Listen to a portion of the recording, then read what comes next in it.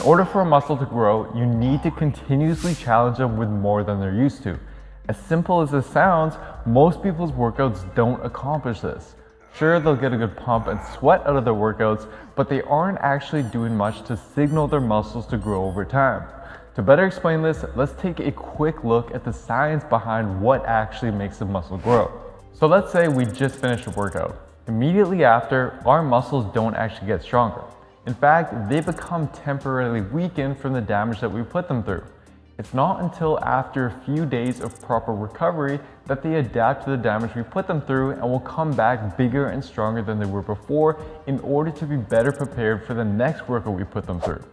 However, no matter how good of a pump you get or how much you sweat, if that next session isn't providing your muscles more of a challenge than the previous session did, then the muscle will have no reason to grow and will simply maintain its current size and strength or in some cases even start to become smaller and weaker. For consistent gains over time, your workouts need to be designed such that they literally force your muscles to grow every single session. Today we're going to cover the 5 ways to do just that. Increasing the amount of weight lifted is a method that most people rely on. To apply it, it's quite straightforward. Let's say you can currently bench press 100 pounds for 8 reps. Next week, you might try to increase the load and do 110 pounds for 8 reps, which would create a new stimulus for your muscles to have to adapt to and grow from. Now, if you're a beginner, then this method of progressive overload will be your bread and butter to help you make gains quickly. You'll likely be able to add 5 to 10 pounds to the bar every single week, especially on your main lifts like the bench press, the squat, and the deadlift. However, if you take our previous example of bench pressing 100 pounds in week one and adding 10 pounds of weight every week, at the end of the year, theoretically, you should be benching 620 pounds. As cool as that would be, neither myself nor Alex, one of our record breaking Built with Science coaches who can bench over twice his body weight, is anywhere close to that. This is where people get stuck. They rely on only adding more weight as their method of challenging their muscles to grow and eventually get stuck in a plateau. To break through this, we have to get more creative with how we continue challenging our muscles. This is where our next point comes in handy. When applied properly, adding more reps is another great way to force your muscles to grow. The way this works can be illustrated with a very simple math equation. If I can bench press 100 pounds for 10 reps one week, I can multiply those numbers together and calculate that I've lifted 1,000 pounds total across that set. If next week I go to the gym and lift that same weight but for 11 reps, I will have lifted 1100 pounds across that same set. This means that by just adding one rep to my set, I've technically lifted 100 pounds more than last week, which just like adding more weight does, would create a new stimulus for your muscles to grow. But how high in reps can you go while using the same weight? Well, based on a 2017 meta-analysis, as long as you're continuing to push hard, you can keep the same weight and increase all the way up to 30 reps and still get the same growth compared to adding more weight. This is extremely helpful if you only have limited equipment or a nagging injury and can't increase the weight on your lifts even if you wanted to. However, for those who do have access to more weights, what we found to be most effective and teach in our Built with Science programs is something called double progression. This is a system that utilizes both reps and weight to ensure that week by week you're forcing your muscles to grow. The way it works is quite simple. Let's say you're doing three sets of squats for 8 to 12 reps with 100 pounds. In week one, you could do 8 reps for each set. Next week, you'd aim to do 9 reps each set. If that went well, you continue doing that until you were able to do 12 reps for all three sets.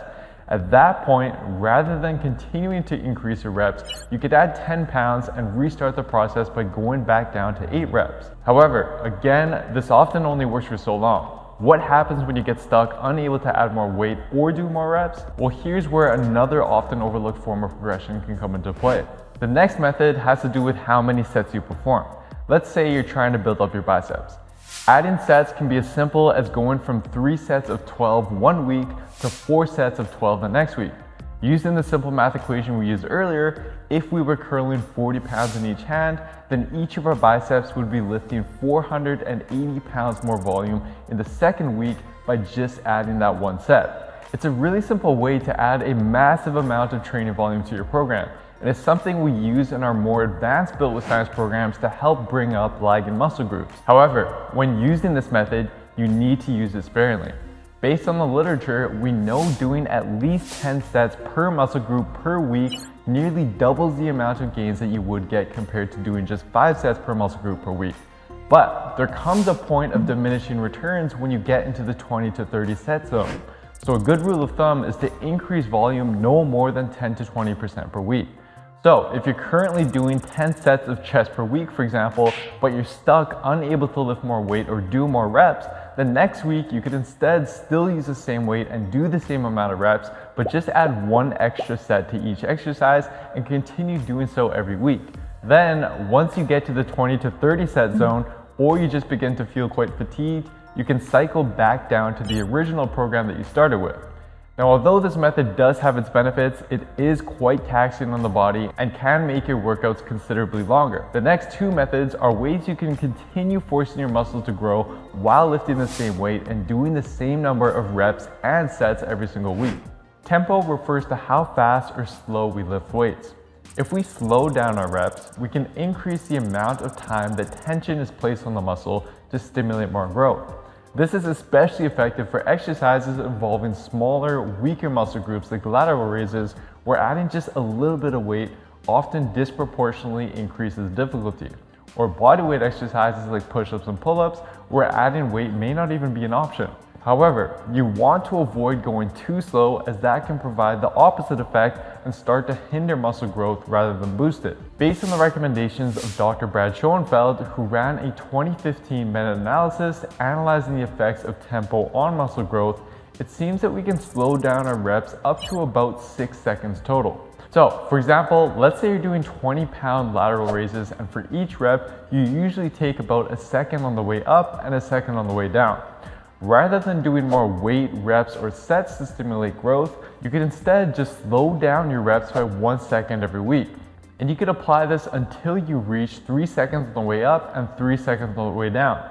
At which point the reps would just get too slow and is when you'd want to apply another form of overload, which could be as simple as increasing the weight up to 25 pounds or utilizing the next method. Oftentimes, when people think they are challenging their muscles more by adding more weight to their lifts, they really just end up compromising their form in the process. As a result, despite using a heavier weight than they were previously, their target muscles aren't actually working any harder. You need to realize that if you do the same workout you did the week before, but you perform your exercises with better control, less momentum, and more activation of your target muscles, then that is progression. Better form involves relying more on the target muscles and will result in growth even if all other variables remain the same. Although this method may not catch your eye as much as some of the others on this list, many of you watching could easily stimulate a significant amount of growth for all your muscles by simply cleaning up your form with your exercises. Even advanced lifters, we still spend time analyzing and tweaking our form because we know that any other method of growth will be meaningless unless your form remains intact. Now, as for which of these five methods is best and is going to provide you with the most growth, the truth is it depends. It depends on your level of experience, your equipment availability, and if there's a certain type of plateau that you're stuck in. The best way to find out is to just experiment with them and see what works best for you. But if you're looking for a step-by-step -step program that takes care of all the guesswork for you, and ensures that week by week you're challenging your body in the right way to consistently build muscle and lose fat, just head on over to builtwithscience.com and take our analysis quiz to find out which of our programs is best for you and your body. Anyways, that is it for today, guys. Thank you so much for watching. Don't forget to show your support by giving the video a like, subscribe to the channel, and leaving a comment down below as to what you'd like to see me cover next. Thank you so much, and I'll see you next time.